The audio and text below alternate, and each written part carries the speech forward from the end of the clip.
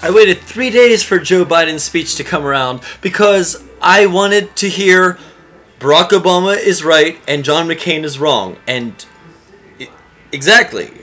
But no one was saying that. They were beating around the oh. bush.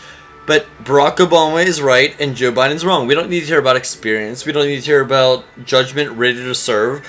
The facts are that John McCain has been wrong about everything forever, forever, and Joe Biden and well, no, Joe Biden was wrong about uh, some stuff. Barack Obama has definitely been right about everything, and McCain's wrong.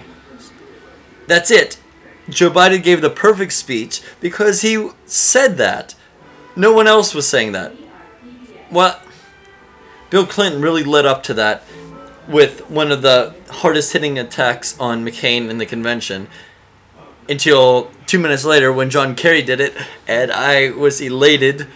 And then Joe Biden came around, and it was perfect. Plus his mom, I like his mom. His mom's a really nice lady.